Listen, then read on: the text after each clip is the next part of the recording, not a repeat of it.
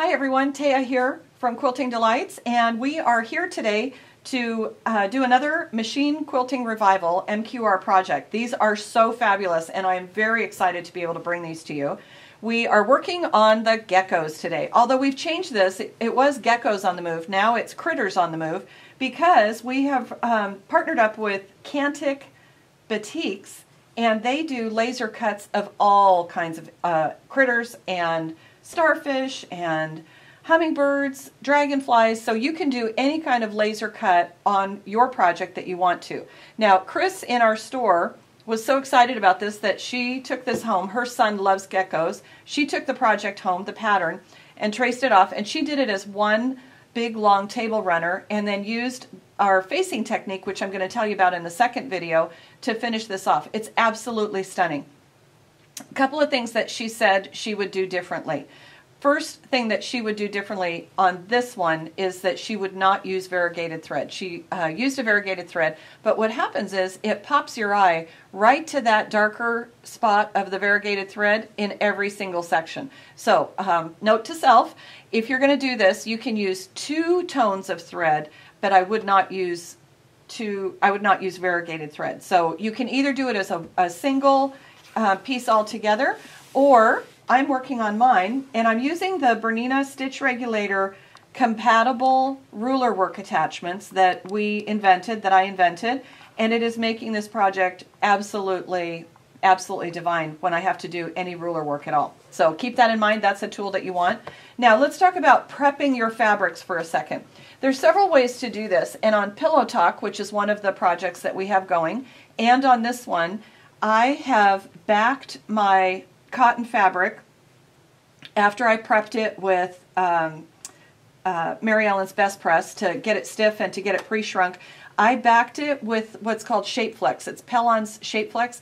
It's a uh, woven fusible, uh, lightweight woven fusible that you put on the back of the fabric and it just really, really stabilizes it so that your stitches look beautiful, but it still allows the loft to come up when you are done.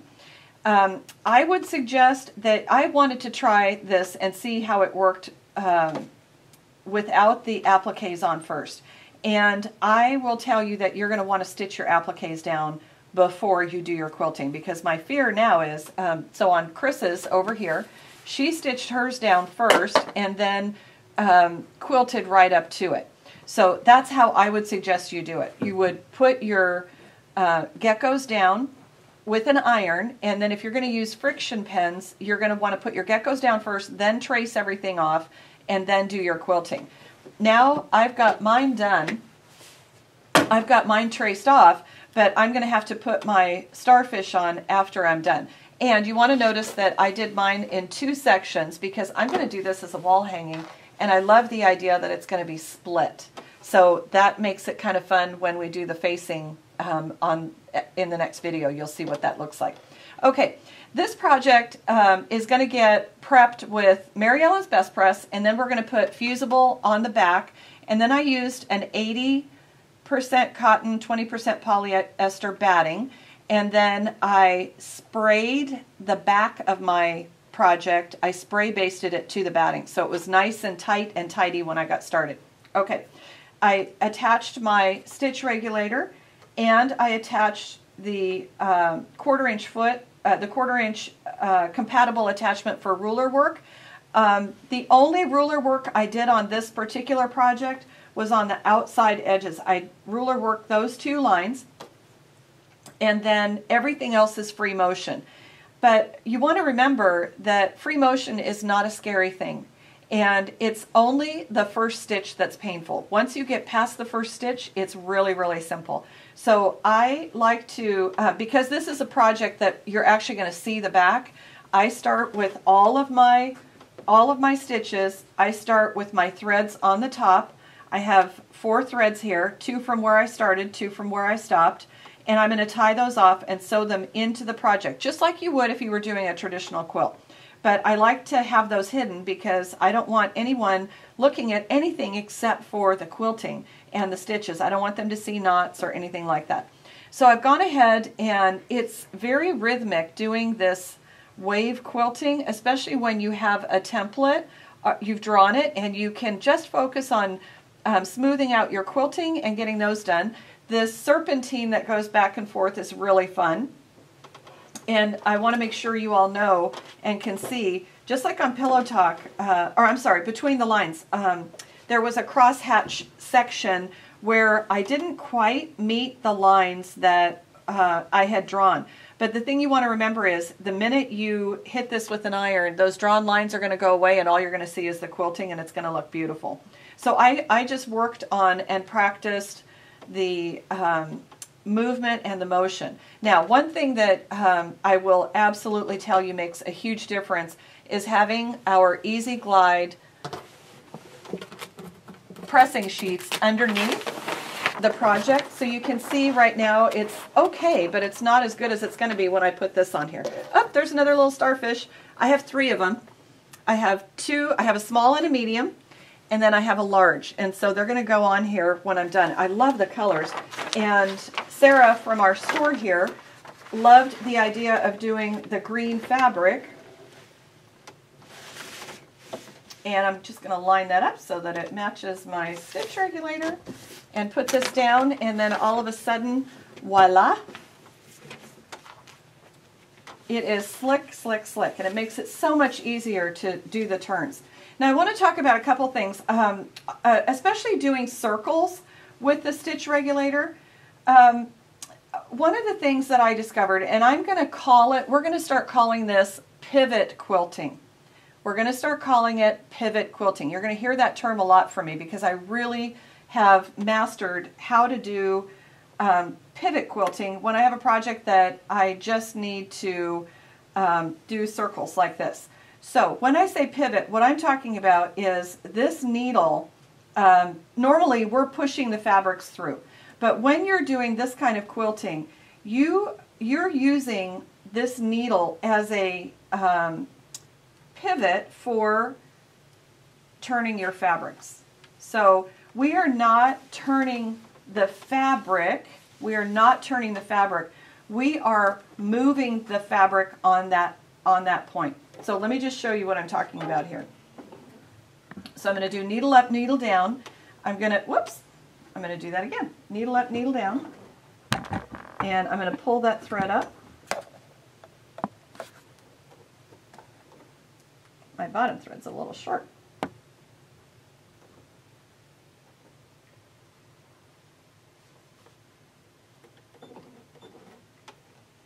So now my threads are underneath and I'm just, I'm, I'm focused on this needle being the place that I'm going to turn and pivot my fabric. So let me just start this. And I'm going to pull this out. I'm doing it in black thread because I want to show you what it, what I'm talking about for the process. Okay, so there we go. And then I'm going to pull my threads up and you can see. Um, let me do another one and these are just practice. I've already stitched this out, so I'm um, just showing you um, how important it is to have this be the center focus of where you are quilting. We're moving the fabric underneath that needle. Now, just as a reminder, when I quilt, I, uh, and I'm using the BSR, I have my foot pedal unplugged. I am not using my foot pedal. I want all of my control to be right here where I can see it before I knew that I could quilt with the stitch regulator without the foot pedal, I would accidentally tap it, and I can't tell you the number of needles that I broke. Um, and I actually put a hole in my quilt one time, so it was that that prompted me to learn how to do this without the foot pedal. Okay, here we go. So we're just going to carefully and slowly. Remember, you do not have to go fast. When that needle is moving, it will go exactly as fast as you do. The psychology of it, though, is, oh my gosh, the needle's going faster than I can, and you end up chasing it, and we don't want to chase it. All right, I'm going to cut my thread. So I want you to notice the difference here. The first one I was going really fast and I couldn't, I did not do a good job anticipating. But the second one, when I just slowed down and breathed, look how perfect that circle is. So that's what I want you to focus on. Same thing with um, doing these wave lines. So I'll just start over here on the left hand side and pull my thread up And then we're going to just start it. And don't forget to breathe. So we're going to go up and over, and then down, and up and over. And what will happen is you will start developing a rhythm and the end curves will look better than the beginning curves. So the other thing that might be helpful for you, and I always have one around, is you might want to trace off a section of each of these designs onto some scrap muslin or scrap fabric. And as you get ready to do another technique, then you can practice on your muslin piece before you come over here. That'll create some muscle memory so that when you actually get to this, you're ready to go.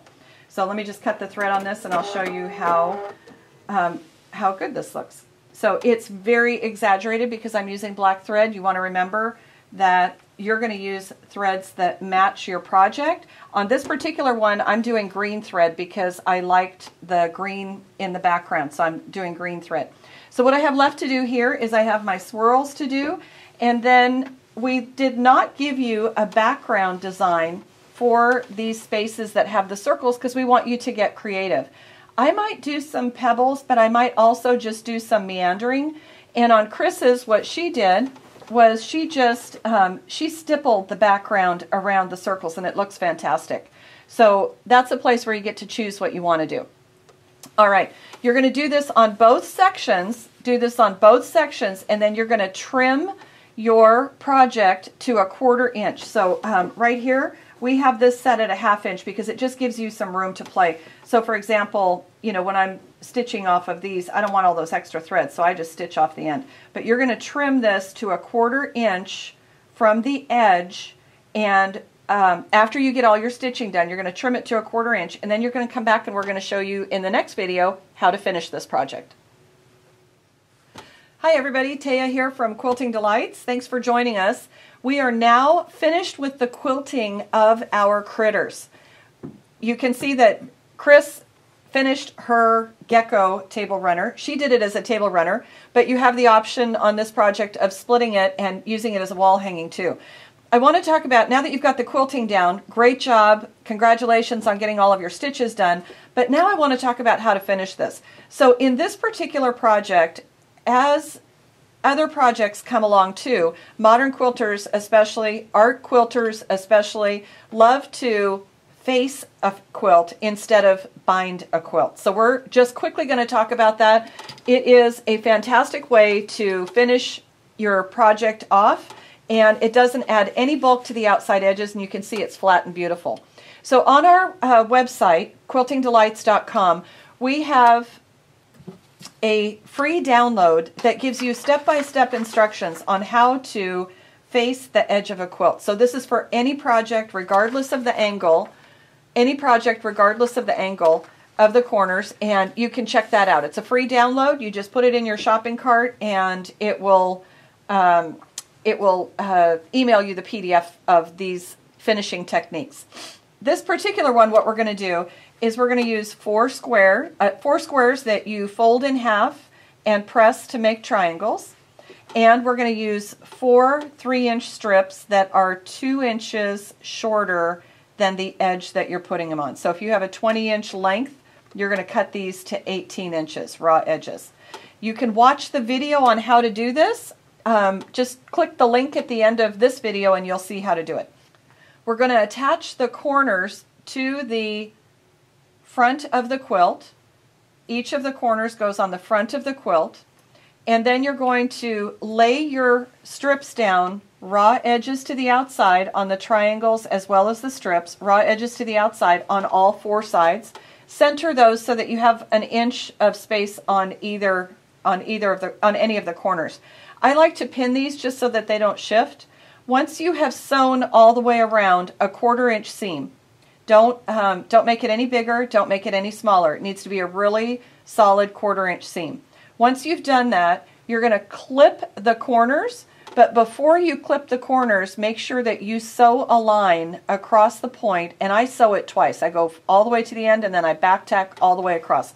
That's going to help add some um, stability in those corners when we go to push them out. So you're going to sew all four corners. Then you're going to go to your ironing board and you're going to press the strips away. You're going to press the strips away on all four sides. And now comes the fun. So now we're going to just flip these over, push our points out, and when we're done, it's going to look just like this. Now, you're probably wondering, why do I have a wood roller?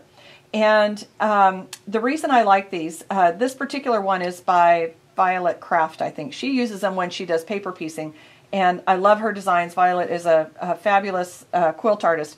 But what I like it for is the edges of these quilts, you can imagine, has a little bit of bulk to it. So once I have these down, I just go back and I push this all the way around with this wooden uh, roller. Uh, those of you who did a lot of um, wallpaper in the 70s, um, you probably still have one of these around. This is what they used to use for the edges of wallpaper. So we're going to do this all the way around on four sides. And then you're going to come back and you're going to hand stitch this edge down.